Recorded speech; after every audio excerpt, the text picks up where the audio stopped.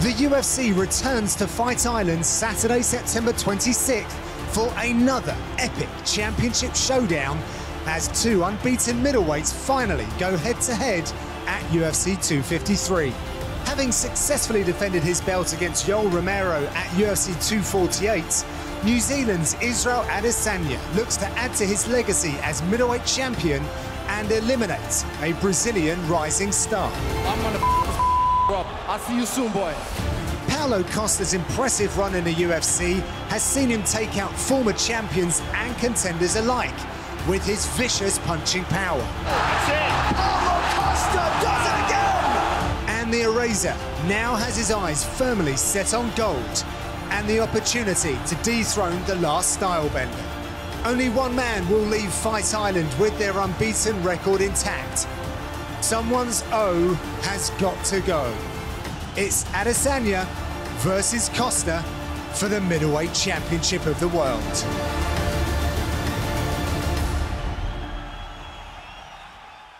Hello and welcome to UFC Inside the Octagon. John Gooden side by side with Dan Hardy. And for today's episode, we're going to be talking about that middleweight title fight at UFC 253 on UFC Fight Island between Israel Adesanya and Paulo Costa.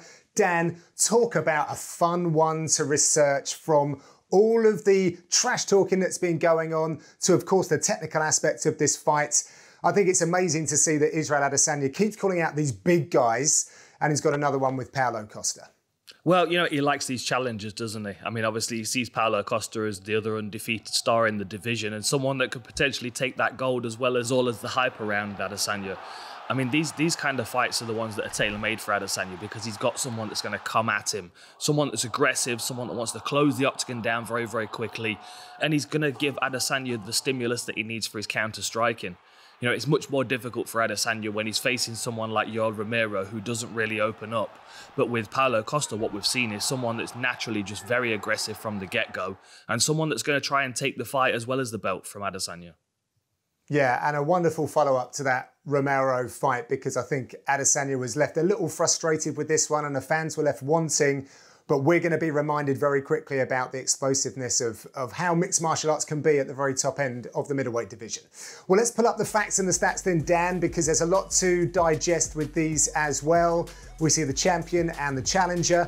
Physically, we see a taller champion. He's also got a massive reach advantage as well. Are they big factors for this? I think they are. I think they are, especially when you consider how uh, Israel Adesanya fights. You know, the, the, more range that he's got on his shots, the better. Um, especially if we look back at previous fights and previous knockouts, he's he's an expert at getting his head out of the way and then punishing people when they've overcommitted. And and one thing you can be sure with Paulo Costa is if he misses one of those punches, he's going to be overcommitted because he throws everything into them. So for, for Adesanya, with that reach and height difference, if he can, you know, use himself as bait and then force uh, Paulo Costa to miss, even when he's out of Paulo Costa's punching range, he's going to be able to crack him clean with some shots. I mean, eight inches is a massive reach uh, advantage for uh, Adesanya. Yeah. But then at the same time, if Paulo Costa closes him down up against the fence and gives him six inches to work, you know, Paulo Costa's 72 inch reach is looking pretty good at that point. Yeah. Um, I want to just not not skip over the credentials of Adesanya, but he's obviously on a terrific run, lots of experience. But did anything surprise you about those striking statistics from Paulo Costa? Because they are quite brilliant. Well, they are absolutely, and, and you, you know you've got to think the reason why his stats are so high is because of the way he fights you know, it's difficult to have a high striking rate when you play most of your game out in the center of the octagon because you're going to miss a lot of those shots. The benefit in Paulo Costa being aggressive is that he does take the space away from his opponents. And, you know, as we've seen in his previous fights, he, he does take a punch as well. He takes a good punch because of his yeah. of his muscularity around his neck and his shoulders. He's able to absorb that power as he's still moving forward. Um, so that gives him the confidence to close people down and, and then to, to throw these barrages of shots at them. Uh, and, you know, what we're counting is we're counting shots landed, but they could be landing on anything, including the guard. Paulo Costa doesn't really care. You know, he, he's not really bothered where the shots are landing, aside from the fact that, that he's, he's constantly keeping that work rate on his opponent. You know, when someone's backed up, he then will start looking head and body and those kind of things. But there are still a lot of shots that land on the guard, and that's why his striking rate's so high. But then when you stri- when you hit as hard as Paulo Costa, even the shots on the guard are going to do some damage. Yeah. Well, they're very different strikers, and I'm sure you're going to unpick all of that down. So let's get straight into the analysis then. And, and let's start with the challenger, who we assume is going to come forward very, very quickly. But what is going to be his first choice weapon? Well, I mean, coming forward is the safe assumption. I would be very surprised if Paulo Costa does something uncharacteristic and, and he doesn't try and take away as much of the octagon from Adesanya as possible, especially with the trash talking that's going on. You know, he wants to make a big impact in this first round. So if I think Paulo Costa moving forward and backing Adesanya up, I've got to think the safest route of attack for him to start with is uh, going to be those body kicks.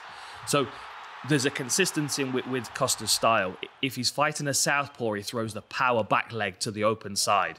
If he's fighting an orthodox fighter, he steps through with the lead leg to still work that midsection. He's always kicking the open side of the body. So you can kind of guess which side he's going to be attacking from based on the stance of his opponent. And, and Paulo Costa, given the fact that he's so aggressive and he's got such a high work rate, if he sees you get hurt with one of those body shots, I mean, Garreth McLellan, it was the beginning of the end for him. With the, with Bamgbose, he caught him with that body shot and recognized, he pointed at him right after the kick had landed because he knew he'd done the damage. And then you see the whole posture of your opponent change, and that's where Costa starts crashing forward with his punches. But that's why I feel like the body kicks are going to be the start of the attack for Costa because even if he's landed on the arms uh, of, of Adesanya, it's much safer than swinging at his head and missing. You know, 40% of his shots land to the body. So investing in that early, attacking the arms, attacking the midsection of, of, of Adesanya, it, it, negates some of the slipping and the head movement that Adesanya's got because it's a more stationary target, the midsection. But it also will, you know, it'll put more water in the basement for the later rounds and slow Adesanya down a little bit. Okay, well, let's flip it over to the champion then. And I, I, think he's expecting a different kind of fight to Romero, a fighter that's going to engage with him. So, how does he respond to this kind of onslaught from Costa?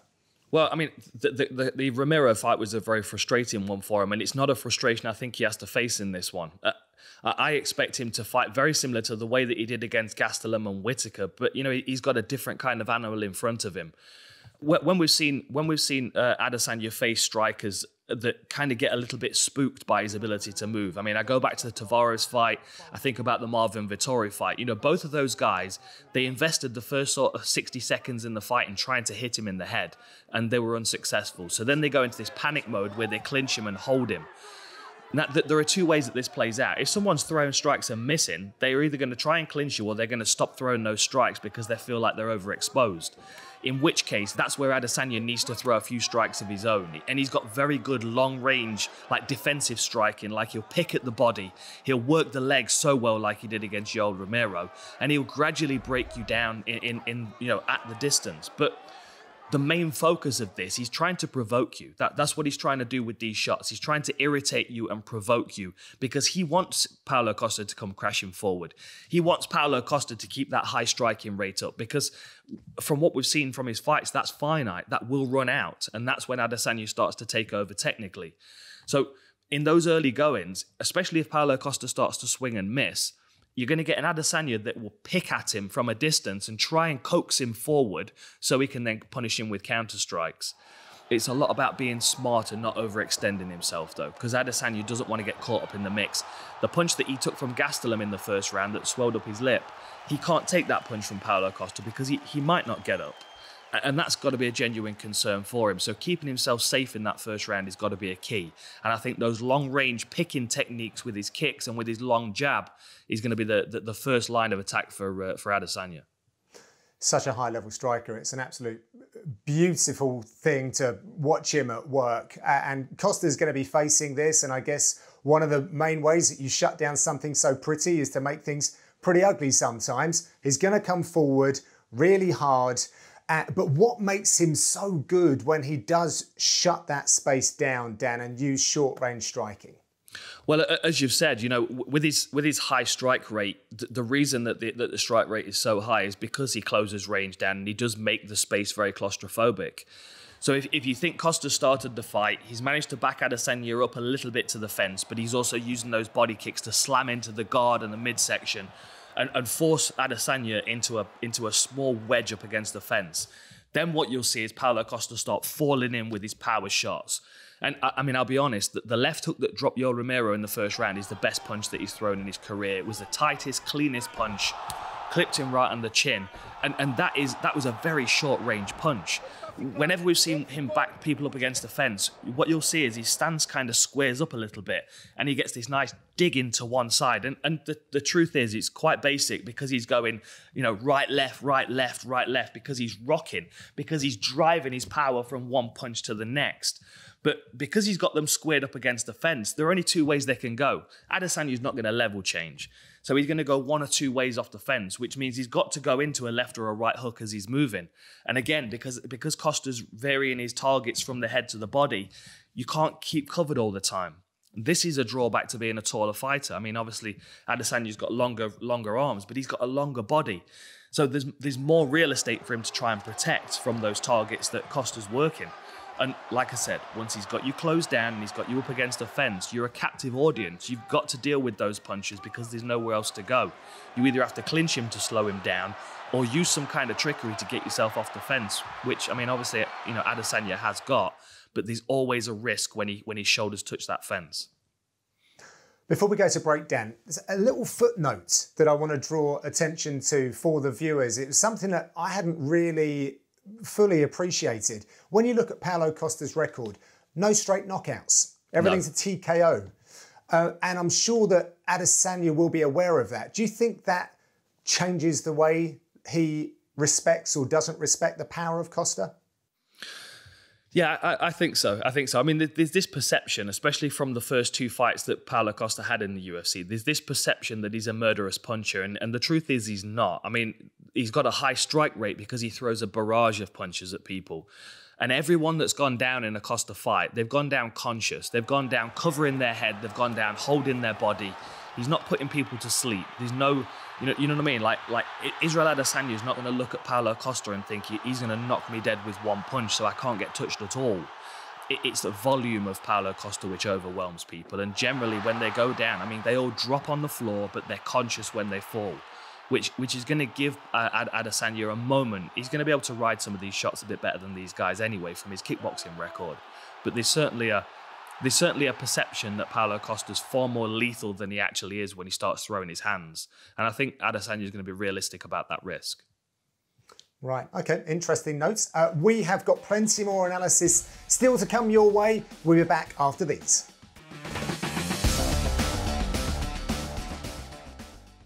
Welcome back to UFC Inside the Octagon, where we're talking about that main event for UFC 253 between the last style bender and the eraser.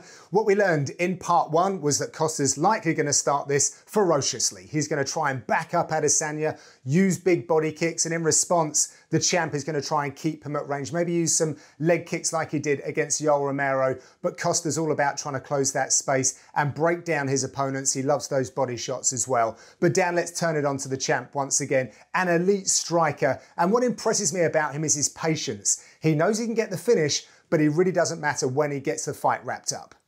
No, that and that is the that is the signal of an, an, elite striker as well because he, he knows he only needs you know he needs a couple of clean shots to get this fight finished and he also knows that he can utilize his opponent's aggression against them. You know, this is what we've seen in, in previous fights of, Adesanya's because he knows that people have to close him down because usually he has the reach advantage. So he's fighting guys that have got to move into his range and land something significant. So they tend to do it at speed. Uh, I mean, the, the best example really is, is the Whittaker fight because, you know, Whittaker was coming in to defend his belt against this new superstar in the division that was, you know, effectively stealing all of his thunder. And, and Whittaker came in that with some animosity. He came in to try and take his head off. And what we saw from the first round against Adesanya is his ability to just give that space, read what was coming to him, and allow it just to slip past him without really countering because then he's frustrating Whittaker because Whittaker's swinging and missing. And at the end of the first round, what we saw is Adesanya step in and allow Whittaker to throw that big overhand and then just slip out of the way and punish him cleanly for it at the end of the first round. And then as the second round starts, you know, we, we, we saw much the same again it's, it's allowing his opponents to work, it's making sure he's safe, and then once they've overcommitted their body weight, he's punishing them. And, and with someone like Paulo Costa, when he comes crashing forward with all of that energy and momentum behind him, if he runs onto an Adesanya strike, it's gonna it's gonna further increase the power of that punch. And, and as we discussed at the end of the first segment, Paulo Costa is not a murderous puncher. He's a ferocious puncher with a high volume, and it's the volume that overwhelms people. It breaks them down. They, they crumble under that under that pressure the, the, the, benefit here for for um, for Adesanya is that he knows that this stuff coming at him. He knows he can provoke Paulo Costa. He knows he can get him to throw. The more he misses, the more he's going to be aggressive and and and overcommit. And the easier that it, that will be for uh, Israel Adesanya to catch him. And also, as we discussed, because because it's not one punch knockouts for, for Paulo Costa, it's the accumulation. There's a, there's an opportunity for Israel Adesanya to make a few mistakes in this one, to maybe get clipped a couple of times. Because I mean, you know, if, if you look at his stats, like in in the round and a half that he faced Whittaker, he took 32 punches. He took 32 punches to measure and to find the, the knockout shot against Yoel Romero, all of that all of that time that he was he was facing Yoel Romero, five rounds, he took 40 shots. He didn't find the finishing shot against Yoel Romero, but he also didn't get finished. He didn't get punished for taking too many risks. Whereas if you go back to the Paulo Costa Yoel Romero fight, he took 125 punches from Yoel Romero over three rounds. That's the difference. It was a much more entertaining fight on the Paulo Costa Yoel Romero side but that's because they were both taking punches and landing punches. With Adesanya, he was able to hold Romero off with that, that bit of witchcraft that he's got, the feinting and the, the reading. So Yoel Romero really didn't want to commit to anything because he knew he was going to run onto something. I don't know whether Paulo Costa has that same mindset of, well, let me hold back and wait to see what Adesanya is going to do. Most likely is he's not.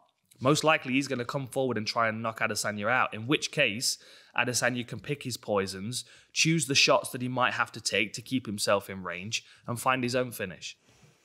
I think the, the, the statement "a game of inches" comes down to it being sort of millimetric precision for the style bender, and he's going to need that against Costa. Despite what you're saying, you know, with that one punch knockout power, if he gets you on a roll, you know, it, it could be an, an early night. But let's let's focus on Costa for a second. And another thing that's impressed me is his evolution, Dan. Because when he first burst onto the scene at the Ultimate Fighter, this guy was a grappler. How and why has this changed so dramatically? I think there are a few reasons for this. I think the first thing is, you know, when he was on the Ultimate Fighter Brazil, he learned a very harsh lesson in that first round where he jumped on someone's back, he had the body triangle sunk in, and he was trying to get that finish as hard as he could for that first round. And then he had nothing left to give.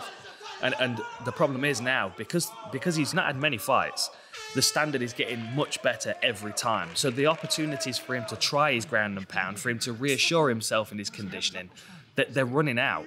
He's now at a stage where he realizes he's got he's got a gas tank and he can spend that gas tank however he wants it. He can spend half of it grappling to hold the person in position to hit them, or he can improve his boxing where he can utilize that energy system much better. And what we're seeing is that that evolution is his striking skill set. You know, we're seeing him with you know with powerful body kicks that then set up his punching barrage. And, and, and it, it negates that need to be wrestling hard. It, that, it negates that need to be tiring yourself out, really not getting anywhere other than controlling your opponent if I'm Paulo Costa and I know I've got a certain amount of energy to give in a fight, I'm going to balance that the best I can. And now they, now he's stepping up to fight over five rounds. He has to he has to take into account there's an additional 10 minutes to work. I would imagine that he's still got memories of that uh, Ultimate Fighter Brazil fight where he gassed himself in the first round. If he lost that fight by split decision, what's Israel Adesanya going to do to him with four rounds to work? And I think the other thing we have to bear in mind is Israel Adesanya's takedown defense is getting much, much better. You know, as much as Paulo Costa's evolving and improving as he goes from, from one fight to the next. We're seeing Israel Adesanya do the same thing.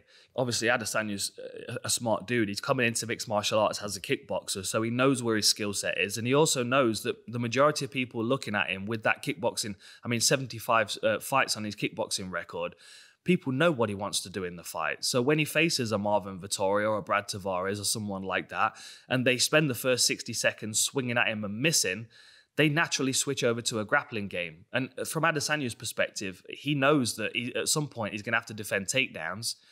To keep the fight in the strongest area of his game. I think what we saw when he faced Brunson is, you know, a, a, clear development in his in his takedown defense, which then allowed him to add striking onto the end of it. So Brunson came out as he does in his fights with a wild couple of minutes. He tried to hit Adesanya, didn't work, clinched him, round him up against the fence, and Adesanya is then cruising because he now knows that Brunson's into his into the second half of his game, and Adesanya then does a great job of getting off the fence and getting clear. As Brunson then pursues him, though, you can see Brunson's going to level change. So the Adesanya making his UFC debut, seeing a level change like this, responds to the level change with takedown defense.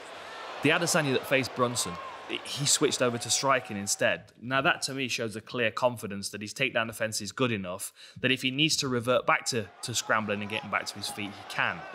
He decided to, to throw a knee in there instead, and he read the angle at which Brunson's head was coming down perfectly.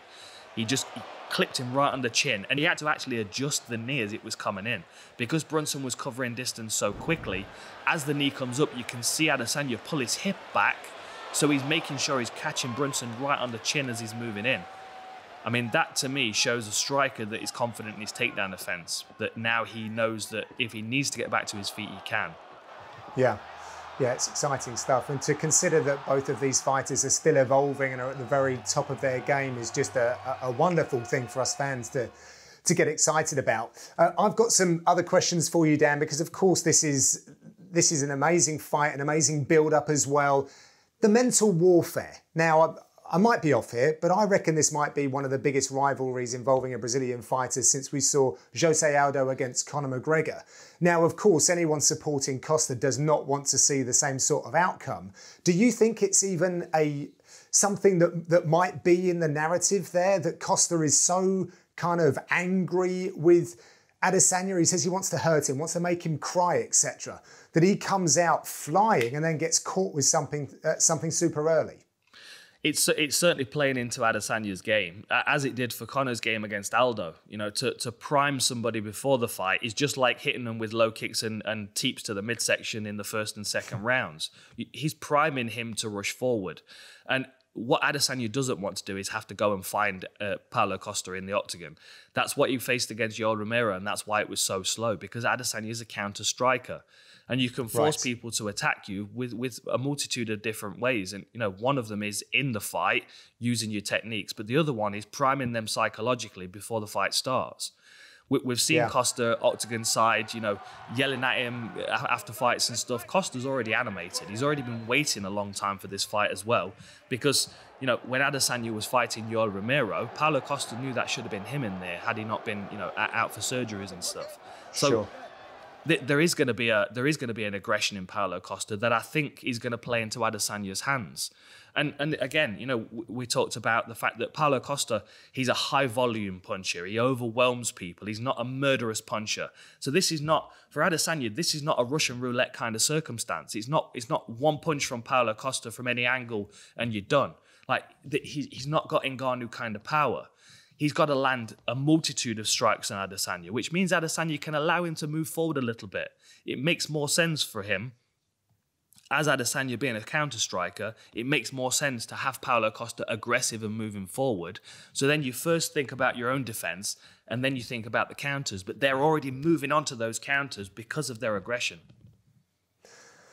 Oh, Dan, what a fight this is going to be. Both of these individuals have gifted us fans with such incredible performances in the octagon so far. Then you add in the ill will they have towards one another. This is going to be special. I know it will be. Thank you, as always, Dan, for your insights. Thank you to everyone at home for checking this out. Keep the conversation going using the hashtag Inside the Octagon. Tweet at UFC Europe. And we will be back for the next pay per view. Until then, thanks for watching.